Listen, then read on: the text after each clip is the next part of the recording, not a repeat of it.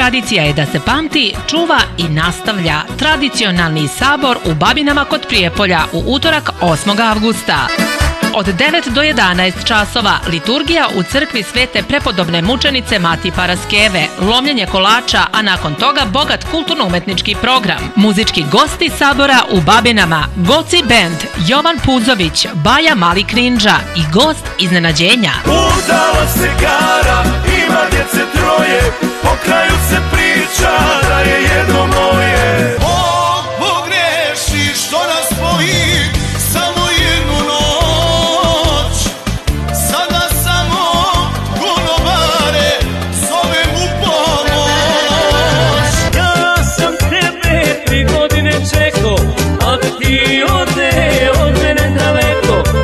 slave ove godine Branko Panić iz Berlina sa porodicom. Pozivamo vas da svojim prisustvom uveličate crkvenu slavu i narodno veselje. Budite gosti tradicionalnog sabora u Babinama kod Prijepolja u utorak 8. avgusta. Dobrodošli!